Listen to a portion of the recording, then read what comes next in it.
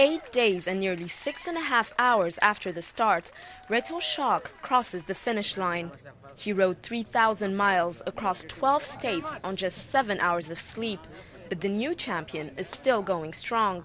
I, I never had a problem and I was, my mind always kept up and I have known how much I've eaten, what I have to eat or, and I was some kind of surprised that it really went that well. Race Across America, dubbed the world's toughest bicycle race, is the pinnacle of ultracycling. It's the world's longest running endurance event and attracts athletes from everywhere, most of whom are amateurs. Like the 45 other racers here, Dick raised nearly 25,000 euros to participate, a steep price for a race with no cash prize. For a few of the racers, it's about winning. Um, I would say for 90% of the field, it's about the self actualization, pushing yourself to your limit.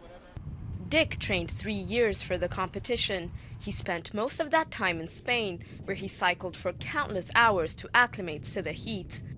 But after 28 hours with zero sleep, Dick is dehydrated and cramping up.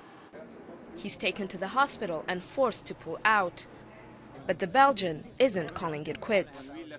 I hope to be back next year. So I did the route to see what what is like.